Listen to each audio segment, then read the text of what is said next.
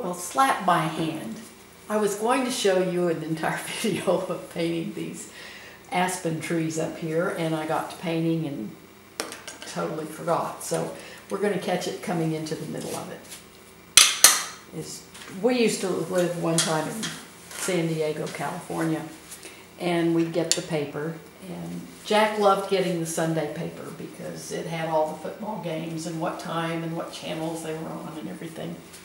And one Sunday we didn't get the newspaper, and he was getting a little upset.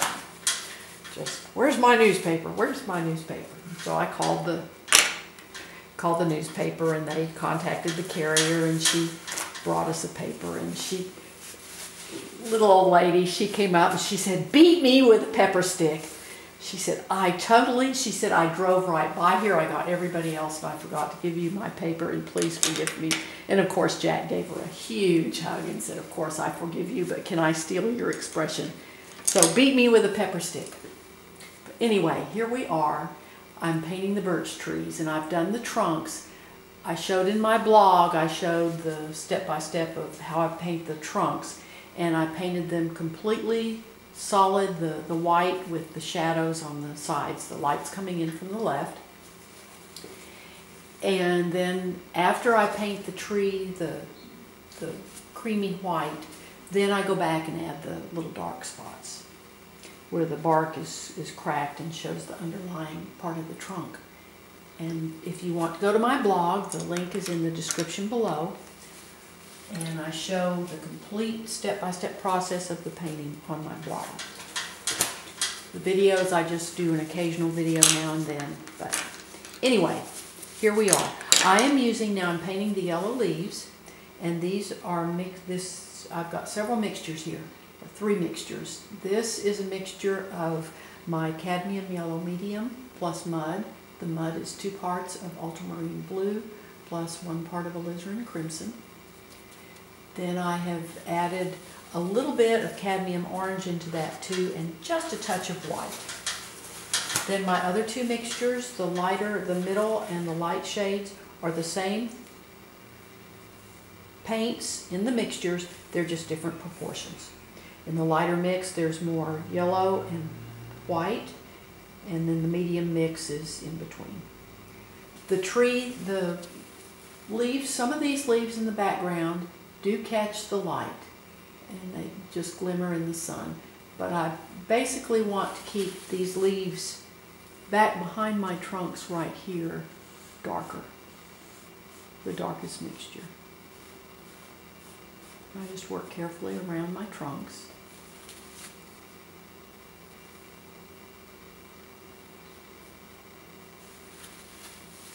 And now the as we come forward, some of these leaves now start coming in front of the these trunks back here.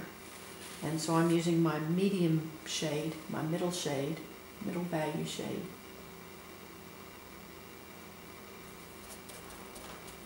And I'll, this is painted on a gallery wrap canvas. And so I will later, I'll step on a little stool and get make sure that top is totally covered, but I'm just going to kind of reach up and do a little bit there. So this is my medium shade and I start coming back in here and adding some leaves over these trunks. Sure, I don't know if I mixed up enough paint. Usually I mix too much, but every once in a while I don't get enough. And you can see where those trunks go back. I'm going to have a little kind of a some leaves tucked down in here between between my trunks kind of go over. That helps to add depth into the painting. And then I'm going to take this trunk up a little bit with my color. This is a mixture of my mud plus a little bit of cadmium orange plus white plus a little more ultramarine blue. And I just want some of that trunk to show up through those leaves. Again, that gives the depth.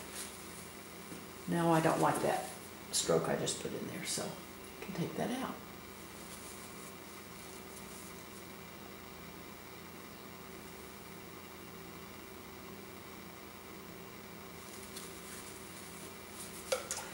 These aspens or birch, I don't know if aspen and birch are exactly the same, but they're very similar if they're not. The, the leaves are really lacy, just kind of get little little dots, kind of. Okay, now let's come around the side of the canvas here. I think you can see that.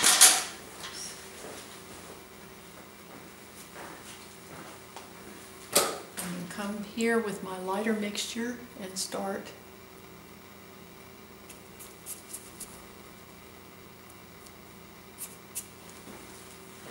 coming over, that covered, come around, start. And I, I, I put a lot of paint on my brush.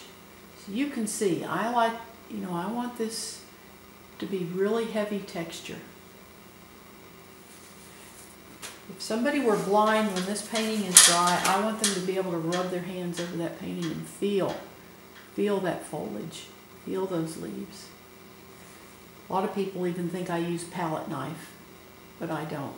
I just pile a bunch of paint up on my brush and lay it on the canvas. Notice how I'm just, I hold the brush very lightly and I just let that, let those come down. Let those strokes come down. I'll bring some light out here. I did not make mix enough paint.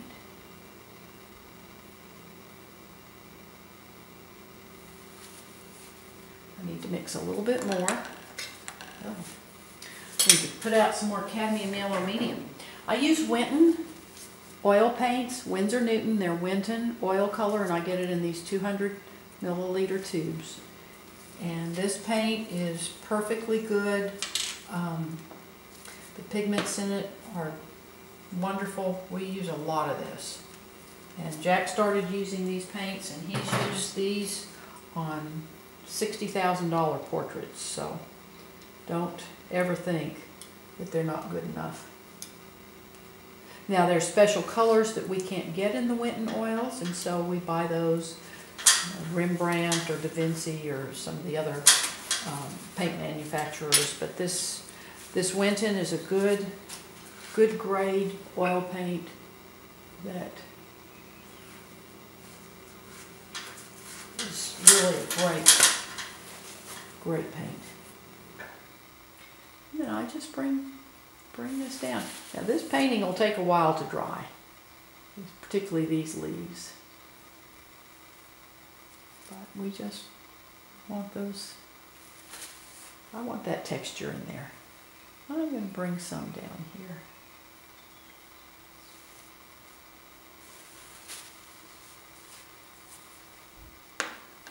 Now I'm going to take a very fine, I can find my little,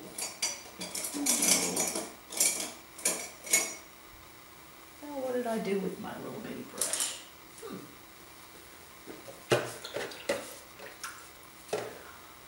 There it is. Okay. All right. I'm going to now make some of the little twigs and stuff that come down. And I'm using some of my trunk color.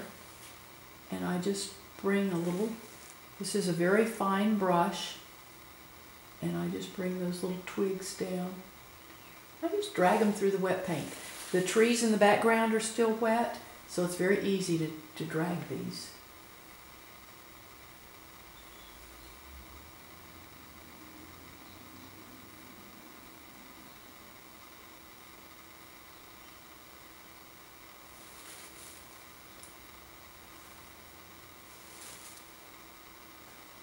And here's, there's our birch trunks and the leaves. Really paints very quickly. Thank you for watching my YouTube videos. Please subscribe to my channel and do visit my blog. The link is in the description below. It's also on the final frame of my video. You have a wonderful, wonderful day and tell somebody that you love today. Just say I love you. You have a great day. Bye-bye.